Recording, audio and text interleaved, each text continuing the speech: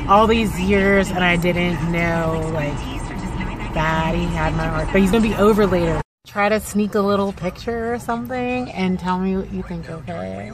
I'm nervous. Oh my god. So here's a bit of the background, okay? When I was younger, um, he and I had like this special like romance thing going on.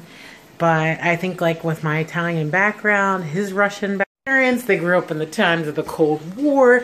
They didn't want me to hang around, you know, this Russian friend that I made when I was like 14, 15. I mean, he was immediately, we just had this special bond and I just knew it was going to be like a lifetime of love. Today after work, I put on a little makeup. I just had like this intuition, like, and sure enough, I went to the store and like there he was. And it was like, whoa. It's been 15 years. Of course, we both changed, but like I recognized him right away. And like, it's weird because like I always thought he was so gorgeous, but like actually he's kind of basic to Russians. Like, when I saw him, I was like, oh my God. I just like fell in love all over again. But he's here, y'all. So I gotta go like make sure I look okay.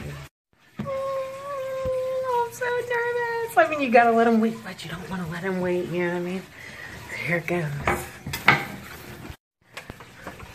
Privyet! It's so nice to see you. Oh my god, it's been so long. Way too long since I've been reunited with Triple Distilled Russian Standard Vodka. My absolute love of my life.